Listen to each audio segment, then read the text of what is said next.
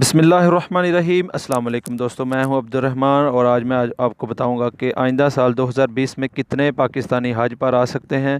دوستو، پاکستان اور سعودی عرب کے درمیان یہ معاہدہ طے پا گیا ہے۔ اس معاہدے کے تحت کتنے پاکستانی حج پر آ سکتے ہیں، یہ جاننے کے لیے ویڈیو کو پلیز اینڈ تک ضرور دیکھیں۔ دوستو، پاکستان کے جو مذہبی وزیر سعودی عرب میں ہیں، ان کا سعودی وزیر حج کے ساتھ معاہدہ طے پایا ہے۔ اس معاہدے کے تحت آئندہ سال دو ہزار بیس میں دو لاکھ پاکستانی انشاءاللہ حج پر آئیں گے۔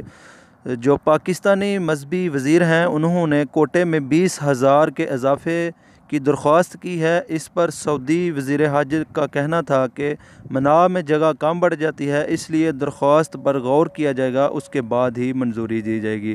تو فی الحال دوستو، دو لاکھ پاکستانی انشاءاللہ حج پر آئیں گے۔ دو ہزار بیس میں۔ دوستو، اگر ویڈیو اچھی لگی ہو تو پلیز چینل کو سبسکرائب کر دیں۔ ملتے ہیں نیکسٹ ویڈیو میں۔ اللہ حافظ۔